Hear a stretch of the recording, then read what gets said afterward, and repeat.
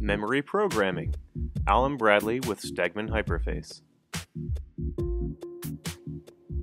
The encoder installed on this motor is defective and will need to be replaced.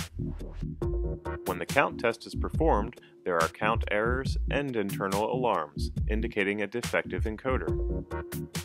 Since Allen Bradley stores memory data in their encoders, we will need to save this data from the original encoder and program it into a replacement.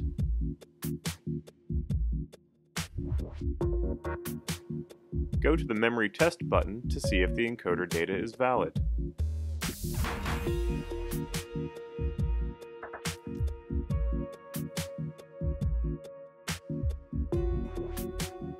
This data is valid.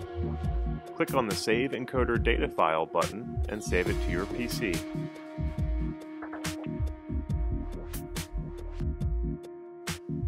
Install the replacement encoder.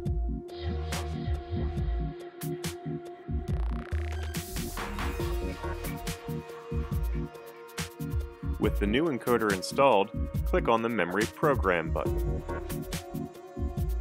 Load in the previously saved encoder data file. Click the Program Memory button to write this file into the replacement encoder.